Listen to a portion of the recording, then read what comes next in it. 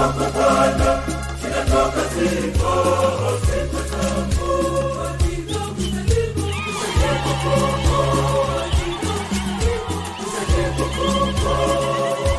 Msikilizaji wa redio Vatikani, Askofu Joseph Roman Mlola wa jimbo Katoliki Kigoma, katika barua yake ya kichungaji kwa taifa la Mungu, jimbo Katoliki Kigoma nchini Tanzania, anapenda kutoa salamu za Noeli kwa mwaka elfu mbili na ishirini. Anagusia kuhusu maadhimisho ya mwaka mtakatifu wa Yosefu. Anapenda kutoa shukurani zake za dhati kwa kulitegemeza jimbo kupitia bahasha ya jimbo. Anafafanua pia kuhusu utume wa waamini walei katika kanisa na hatimaye salamu za mwaka mpya wa elfu mbili na ishirini na moja. Itakumbukwa kwamba kama sehemu ya maadhimisho ya kumbukumbu ya miaka mitano tangu Baba Mtakatifu Francisco achapishe usia wake wa kitume Amoris Laetitia, yaani furaha ya upendo ndani ya familia, hapo tarehe 19 Machi 2021 ametangaza kwamba itakuwa ni siku ya kuzindua mwaka wa furaha ya upendo ndani ya familia, Familia Amoris Laetitia, utakaohitimishwa wakati wa maadhimisho ya siku ya kumi ya familia duniani itakayofanyika mjini Roma tarehe 26 Juni 2022 kwa kuongozwa na kauli mbiu upendo wa familia, wito na njia ya utakatifu. Baba Mtakatifu Francisco ametoa tamko hili wakati wa kuadhimisha sikukuu ya familia takatifu ya Yesu, Maria na Yosefu hapo tarehe 27 Desemba 2020. Askofu Mlola katika barua yake ya kichungaji anawaalika waamini kumpokea Kristo Yesu na kumweka kuwa ni dira na mwongozo katika medani mbalimbali mbali za maisha. Kila mwamini ajitahidi kuhakikisha kwamba Kristo Yesu anapata nafasi ya kukaa katika maisha yake ili awawezeshe kuwa ni vyombo na mashuhuda wa haki, amani na maridhiano ya udugu wa kibinadamu ili kujenga umoja na mshikamano wa kitaifa. Baba Mtakatifu Francisco katika waraka wake wa kitume Patris Corde, yaani kwa moyo wa kibaba, mwaka wa Mtakatifu Yosefu, kumbukumbu ya miaka 150 tangu Mtakatifu Yosefu alipotangazwa kuwa msimamizi wa kanisa la kiulimwengu uliozinduliwa rasmi tarehe 8 Desemba 2020 na unatarajiwa kufungwa tarehe 8 Desemba 2020. Anataja sifa kuu za Mtakatifu Yosefu kuwa ni baba mpendevu, mwenye huruma na mapendo, mtiifu na mwepesi kukubali. Ni baba aliyebahatika kuwa na kipaji cha ubunifu na ujasiri, lakini alibaki akiwa amefichwa kwenye vivuli, akawajibika na kuwa ni chanzo cha furaha na sadaka binafsi. Katika unyenyekevu, Mtakatifu Yosefu aliyehifadhi mafumbo yote ya maisha yaliyomzunguka mtoto Yesu na mama yake Bikira Maria. Yosefu, mtu wa haki, akajiaminisha mbele ya Mwenyezi Mungu na kuyatekeleza yale yote aliyoambiwa na Mungu. Askofu Mlola anawaalika watu wa Mungu jimbo Katoliki la Kigoma kujifunza fadhila za Mtakatifu Yosefu na yale ambayo Baba Mtakatifu Francisco ameandika kuhusiana na Mtakatifu Yosefu.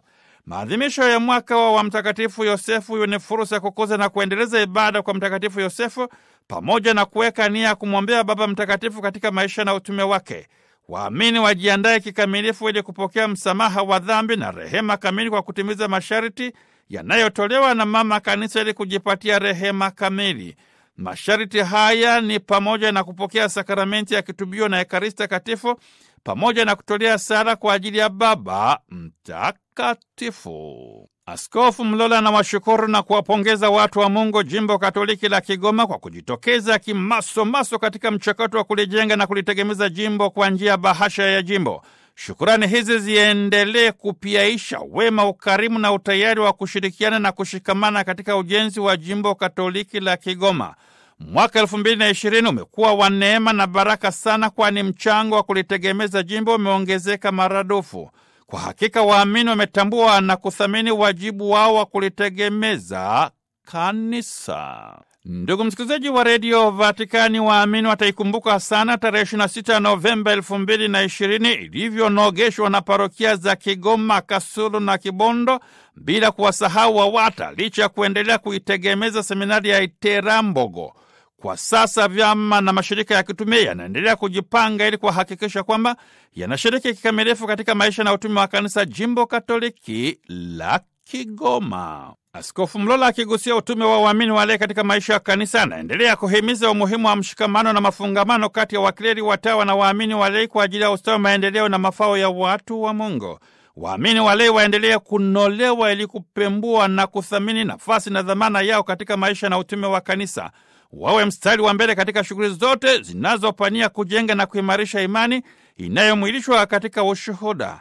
Waamini washiriki vema katika ujenzi wa makanisa. Pale inapowezekana, waamini wachangie nguvu kazi badala ya kutuma wawakilishi, kwani hii ni sehemu ya mchakato wa uinjilishaji. Mapadri katika shughuli zao za kichungaji wahakikishe kwamba wanawasaidia waamini kushiriki kamilifu katika maisha ya kisakramenti kwa kuhakikisha kwamba waamini hao wanapokea sakramenti ya upatanisho na Ekaristi Takatifu. Mapadri waoneshe moyo wa huruma na mapendo ya kibaba kwa wale wote waliokata tamaa kiasi cha kushindwa kushiriki vyema kupokea sakramenti za kanisa, wasiache kuwatafuta. Askofu Joseph Roman Mlola wa jimbo Katoliki ya Kigoma anahitimisha barua yake ya kichungaji kwa taifa la Mungu jimboni humo kwa kuwatakia heri na baraka kwa mwaka mpya wa elfu mbili na ishirini na moja. Iwe ni fursa ya kumjua, kumpenda na kumtumikia Mwenyezi Mungu kwa njia ya jirani zao. Waamini wajitahidi kutunza afya zao na za jirani zao, wajikinge na magonjwa kwa kufuata kanuni za afya bora na ushauri wa wataalamu wa afya. Kwa magonjwa yanayotibika, waone madaktari. Watu wa Mungu jimbo Katoliki la Kigoma waongeze uwajibikaji katika familia, kanisa na taifa katika ujumla wake. Wajitahidi kuishi vyema ili waweze kufurahia matunda kwa wakati wake. Waamini waendelee kuwakumbuka na kuwaombea wagonjwa na marehemu wote waliolala kwenye usingizi wa amani wakiwa na tumaini la ufufuko wa wafu, maisha na uzima wa milele. Nam, ndugu msikilizaji wa redio Vatikani, hakuna tena wa kuwatarai watu wa Kigoma. Kutoka studio za redio Vatikani ni mtoto wa mkulima, Padri Richard Mjigwa. Yote yote ya dunia watu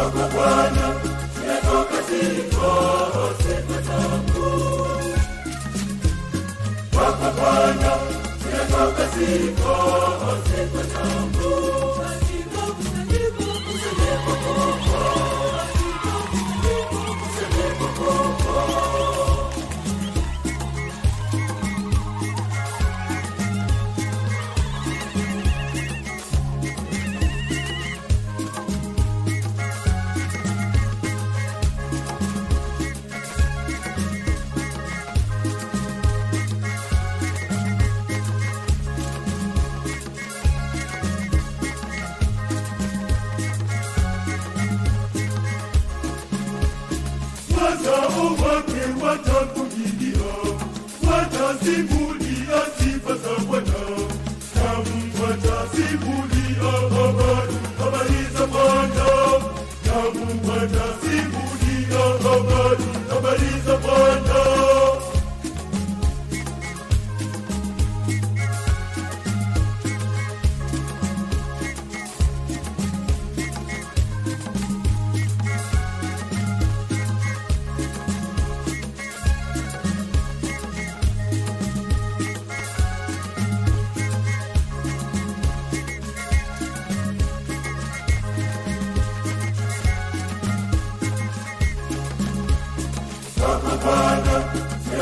se for você tocando.